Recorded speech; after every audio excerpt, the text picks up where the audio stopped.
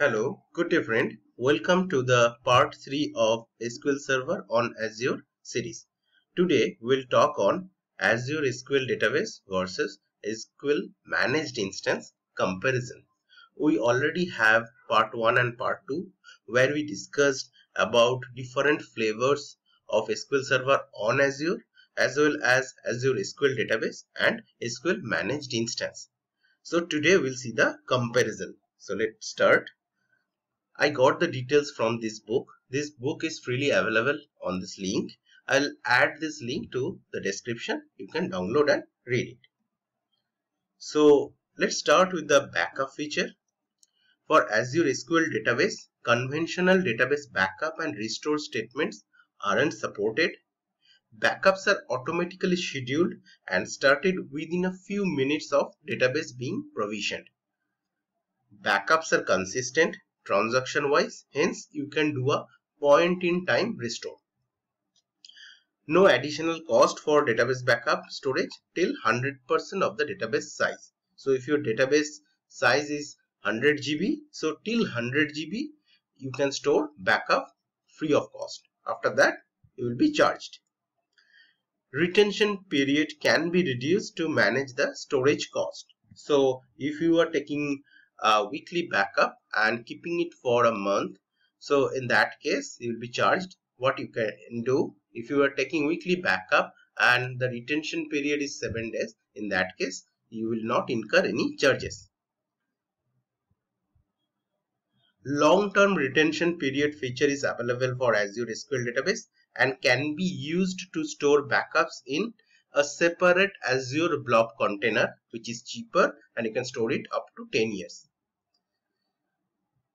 For Azure SQL managed instance, auto backup which are kept for specified retention period, supports native copy-only backup on Azure Blob containers, no additional cost for database backup storage till 100% of the database size. Long-term backup is a public preview feature right now. Okay.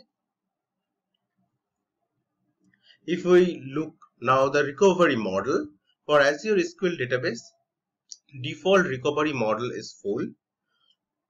The reason is recovery model is set when master database is created as master database is read-only hence modification is not possible.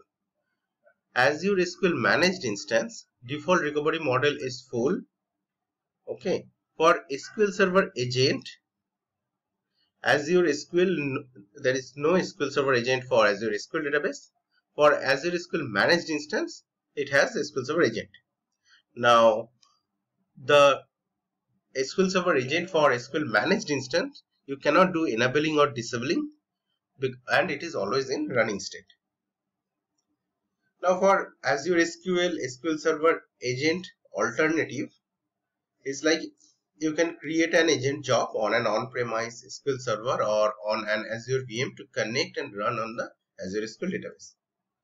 Or you can do Azure automation which allows users to schedule jobs in Azure to automate manual tasks. Elastic jobs which, an, which is an Azure service can be scheduled to execute ad hoc tasks. Use PowerShell to automate a task and schedule PowerShell script execution with Windows Scheduler on-premise or Azure VM. Now change data capture. For Azure SQL database, change data capture features is not available. For Azure SQL managed instance, it, is, it has that support. Now change data capture allows you to capture data modification to CDC enabled databases and tables. The CDC feature is important in incremental load scenario like online transaction processing. CDC requires SQL Server agent, hence not available in Azure SQL database. You can use temporal table, SQL Server integration service, Azure Data Factory to implement CDC in Azure SQL database. Okay. Auditing, Azure SQL audit logs are available and need to be saved in Azure Blob storage. For Azure SQL managed instance, this is same. Mirroring for Azure SQL database, mirroring cannot be enabled between Azure SQL databases, but a readable secondary can be an alternative. For Azure SQL managed instance, this is same, but here a failover group can be an alternative. Table partitioning. For Azure SQL supports partition scheme and partition function. All partitions should be created on the primary file group. For Azure SQL managed instance, partition can be created with different file groups and files for each partition. Replication for Azure SQL, snapshot, transactional and merge replication cannot be done. Azure SQL can be a subscriber to an on-premise SQL server where the version of the SQL server should be greater than equal to 2012 or Azure VM SQL Server instance. But this is one way transactional replication uh, only can happen. For Azure SQL managed instance, it supports snapshot, transactional, bidirectional replication. Merge, peer-to-peer -peer replication and updatable subscription are not supported.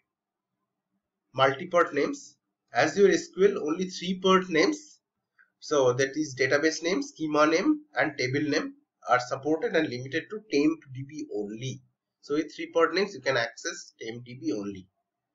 Four part names are not supported. That means you cannot uh, reference cross database tables. Okay, cross server tables. Cross server, cross database tables. Elastic queries can be used for cross database reference. We'll come to Elastic query in specific section. Azure SQL managed instance, multiple names and cross database queries are supported. Now SQL CLR. Azure SQL database, SQL CLR are not supported for Azure SQL Managed Instance, it is supported. Now, SQL CLR allows user to write programmable database objects like stored procedure, function and triggers in managed code. This provides significant performance improvement in some scenarios. Throttle limit resources. Azure SQL database, it is not supported. For Azure SQL Managed Instance, it is supported. Now, resources like CPU, memory, input, output can be throttled. Global temporary table for Azure SQL database it is not supported. For Azure SQL managed instance it is supported. Global temporary table are defined by double hash and are accessible across all sessions. So if you create a global temporary table in a particular sessions, other sessions can be able to see the tables. Okay. Use statements. So this is the last feature for Azure SQL database. It is not supported and Azure SQL managed instance, is supported. The use statement is used to switch from one database context to another. So that was about the comparison between two flavors, the platform as a service flavors of SQL Server on Azure. Thank you for watching this.